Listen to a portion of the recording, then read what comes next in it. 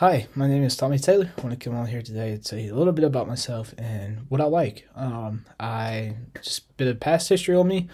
I graduated from Hazel Green High School in 2017. I am a current student at Calhoun Community College. I hope to transfer out to the University of Alabama Huntsville.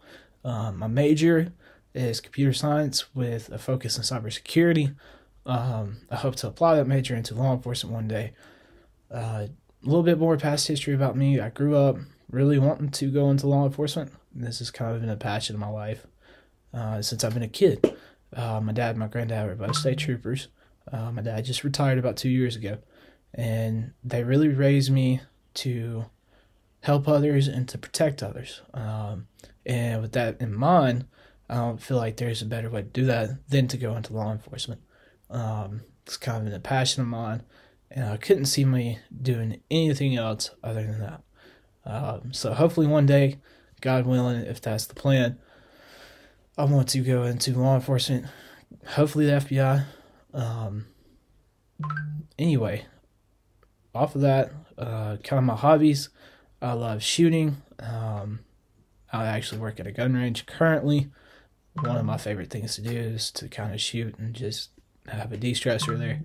Um, I love going to disc golf, hanging out with friends. Uh, driving, driving is a big thing for me. I love driving around, just wherever it might be. I might not have a destination in mind. Um, so yeah, that, that's pretty much me. Um, really simple.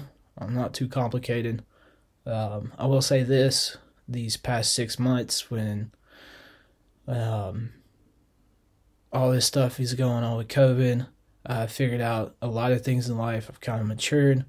Uh, I've recently lost 70 pounds, and I just kind of want to relay a message to y'all.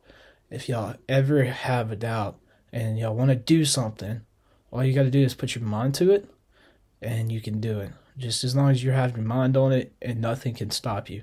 So, kind of words of encouragement. Um, if you want to do something and you truly want to get it, go after it. Don't stop. Um, it's kind of how I was able to lose 70 pounds because I set a goal and I went after that goal. And I'm still going after that goal. I'm almost there. So just kind of want to give you a word of encouragement. I uh, hope y'all have a good day. I hope y'all have a good rest of the week. I hope everybody's staying safe from the snow.